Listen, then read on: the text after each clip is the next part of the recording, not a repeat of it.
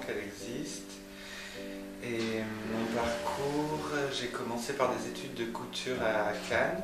Je suis montée sur Paris pour faire une école de stylisme. Et après, j'ai commencé à travailler dans la chaussure, chez Kélian, chez Christian Louboutin, chez Sartor. Je fais essentiellement des escarpins.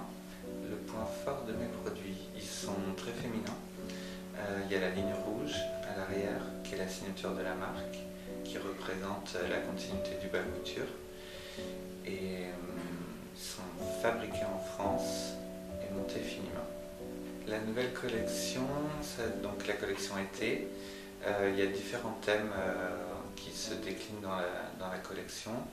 Il y a un thème Frida Kahlo avec des imprimés sur du serpent d'eau, donc assez coloré, du vert, du rouge, du bleu. Ensuite, euh, j'ai voulu travailler euh, une base neutre, euh, donc j'ai pris du vernis nude et là j'ai rajouté des, couleurs très vives en petites touches. Et c'est une collection qui est très colorée.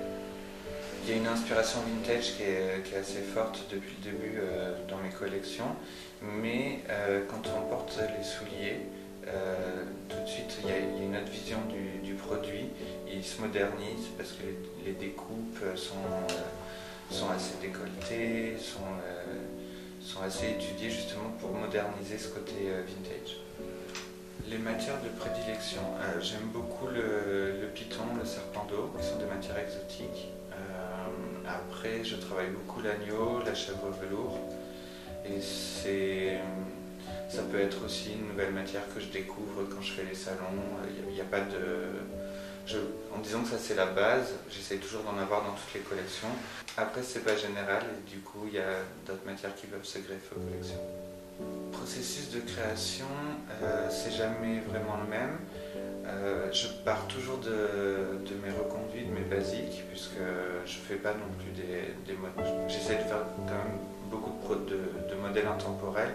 Euh, donc je je pars de, là. Ensuite, euh, il y a des thèmes euh, chaque saison que j'ai envie de travailler. Donc j'essaye de faire une petite histoire sur mes modèles euh, avec ce thème-là. Et ça évolue en six mois. par exemple, le thème de cet été, Frida Kahlo, quand on regarde les modèles finis, on n'imagine pas qu'il y ait l'inspiration de Frida Kahlo derrière.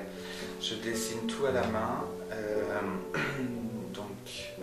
je ne mets pas forcément en couleur. Je dessine tout à la main, je fais mon choix de couleur et de, matière.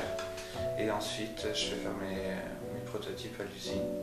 Les matières sont en provenance de la France ou de l'Italie. Les souliers sont montés finiment, donc c'est pas tout fait à la main. Il y a tout ce qui coupe, euh, euh, montage, piqûre, tout ça, ça va être fait euh, à la main ou avec des machines. Et monter finement, c'est juste au niveau de la finition de la semelle. Elle est posée et ensuite elle est, finie, elle est collée à la main. ou alors c'est le, même le, montage, c'est-à-dire qu'on va tirer la, la, peau sous la forme pour bien la tendre. tout ça, c'est des étapes qui sont faites entre les machines et les les mains des ouvriers.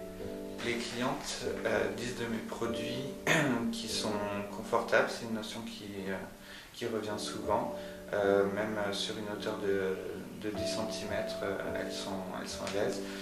elles apprécient aussi le fait de pouvoir changer les hauteurs de talons et elles aiment beaucoup les combinaisons de matière et de couleurs. J'ai eu donc pour la, l'autre marque pour laquelle je travaille, euh, Sofia Coppola, une fois qui m'a appelé, qui voulait, euh, qui m'a laissé un message sur mon, téléphone, qui voulait euh, une paire de boots. Et ensuite, j'ai eu l'occasion de rencontrer Sarah Jessica Parker dans Paris, à qui j'ai offert une paire de chaussures. Le vrai luxe dans la chaussure ou ailleurs, je pense que c'est avant tout un service et ensuite une qualité de fabrication. Mes produits, on peut les trouver chez Créateur et euh, dans ma boutique parisienne que j'ai ouverte en février et ensuite sur, d'autres points de vente en France. Si tu me dis Paris, je te dis euh, romance. Si tu me dis Moscou, je te dis mon guide.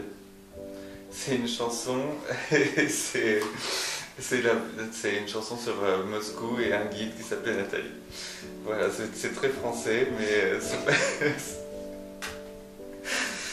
c'est ce qui me fait penser directement à Moscou. Si tu me dis Pékin, je te dis cité interdite.